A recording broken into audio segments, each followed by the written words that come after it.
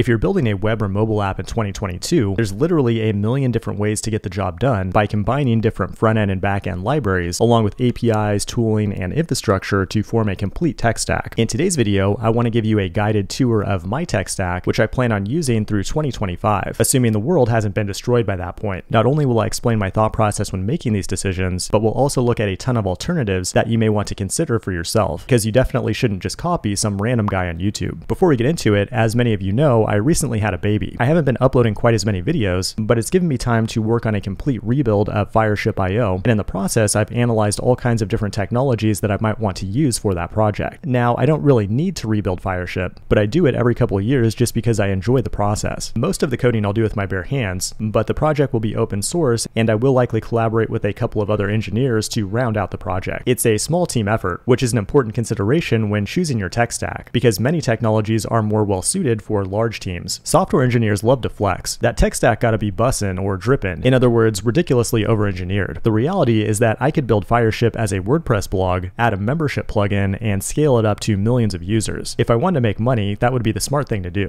But I want to build something a little more special than just a WordPress blog. In the next version of the site, courses will have progress tracking that will also include challenges like quizzes and interactive demos powered by StackBlitz. In my experience, the majority of modern web development happens on the front end. That being said, one of the most important decisions to make is your front end UI library. And for that, I have chosen Svelte. I've built something with pretty much every UI library on the market. They all have their pros and cons, but Svelte is the one that feels most productive to me. And coincidentally, just yesterday, it debuted at the top of the most loved web frameworks on the Stack Overflow 2022 survey. I think developers love it for how natural it makes reactive data feel. When a mutable variable changes, the UI reacts. You don't have to jump through any weird hoops to make things reactive. Now, the other thing I really like about Svelte is the way you share data across components, which is done with stores. A store is like a subject in RxJS that can be observed anywhere in the application by simply putting a dollar sign in front of it. This pattern is actually very similar to the way things are done in Angular, but Svelte does it with a lot less boilerplate. The current version of Fireship is actually built with Angular, and in my opinion, Angular is awesome and the most underappreciated framework out there. It's extremely popular in enterprise for a good reason, but in 2022, React is definitely still the most popular UI library, and it has a huge ecosystem of supporting libraries. I think that's the most compelling argument to use it. When it comes down to the UI library itself, there are cleaner options out there like Solid.js that would also provide better performance. I also seriously considered Vue, which is not only a great framework, but also has a large number of supporting libraries as well. But the more important decision is which meta framework do you want to use. React has Next, Vue has Nuxt, Angular has Universal, and Svelte has Kit. Most applications out there need some form of server-side rendering to make their sites visible to search engines and bots. Svelte Kit is the official SSR solution that's being worked on by Rich Harris, but as of today, it's still in beta. Using a framework that's not at a stable release is kind of risky. You could pour a ton of work into an app, then the framework developers decide to pull a feature on the final release that torpedoes your entire business. Not very likely, so that's a risk I'm willing to take. Now, there are other ways to server render Svelte. Another good option is Astro. It has a lot of awesome features for content-driven sites, but the reason I prefer Svelte Kit for this project is because it does client-side routing after the initial page load, which becomes important on more interactive sites, especially when user authentication is involved. But my plan is to use Astro for my personal portfolio if I ever get around to rebuilding it. Now, the other framework that I would say is my second choice is Next.js. Next is already a great framework, but it has a bunch of cool stuff coming as well, like nested routing and stuff like that. I also recently made a video on Nuxt, yet another awesome framework that I hope to make a full course on in the future. It's also worth mentioning that there's a new framework called Qwik that has an entirely different take on rendering with resumable or replayable applications, but even that's a little too bleeding edge for me. Now, when it comes to server rendering, you don't need to use a meta framework that's tied to some JavaScript library. Instead, you can use a full stack framework like Ruby on Rails, Laravel, Django, or whatever to render all of your content on the server. These frameworks have advantages for certain types of applications, but in my case, full-blown server-side rendering is not really necessary because the content on the actual site doesn't change all that often. It's far more simple to pre-render the entire site, upload it to a storage bucket, and then cache it on a CDN around the world. When you have a dedicated server, you then need to think about how to scale it with either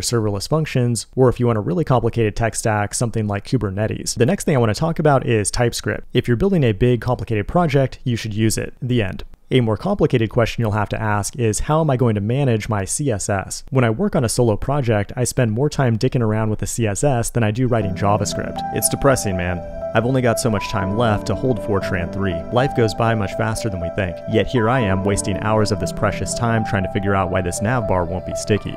That being said, a tool that makes CSS much easier is Tailwind. Most importantly, it makes prototyping and the implementation of your designs go much faster. I like to have a lot of control over my designs because for me it's a creative process. Tailwind won't magically make your website look good, but it does provide enough of a framework to get things done way quicker. The current version of Fireship is 100% custom with Sass. With Tailwind, I feel like I have the same amount of control, but things just get done much more rapidly. And another huge benefit is that it will automatically purge styles to keep the CSS bundle as small as possible. That's important because the initial page load speed for my site is critical. If you like the utility class approach, another option to check out is Windi CSS, or if you don't care about having that much control, you can use something like Bootstrap Bootstrap, in addition to many other CSS frameworks out there. And you've also got tons of framework specific UI libraries to analyze as well. And if you're using Tailwind, you should definitely check out Daisy UI. But I'm just doing everything from scratch myself because I'm an idiot. That's enough for the front end. Now I want to talk about the back end. As you know, I'm a big fan of Firebase and it's been the foundation of this channel from day one. But as I've grown older and wiser, I've come to realize something about Firebase. This may be shocking to some of you, but Firebase is still awesome, and I plan on using it until the day I die or at least until Google decides to kill it, whichever comes first. Firebase will do 90% of what most apps need on the back end. The main drawback is that you're tightly locked into Google Cloud Platform, and you may run into edge cases that it just doesn't support, like advanced authentication features or complex database queries, and that can be a deal breaker for certain types of apps. What you could do is architect your entire backend from scratch by picking and choosing different services in the cloud, but then the complexity of your code base is going to explode. Luckily, in 2022, there are quite a few alternatives to Firebase Firebase. You've got big ones like AWS Amplify and MongoDB Realm, and then smaller startups like Nhost, Supabase, and Appwrite. I recently compared all of them, and each one has its own set of unique trade-offs. Expect a full video on that soon. The most important thing is the database. Firebase uses Firestore, which is a document database similar to MongoDB, which can get the job done for most apps, but does have some limitations that can be kind of annoying at times. A traditional SQL database is probably the safest bet for most people, but they're generally harder to work with, although there are some services out there like PlanetScale and CockroachDB that have made things a lot easier in recent years, especially when used with an ORM like Prisma.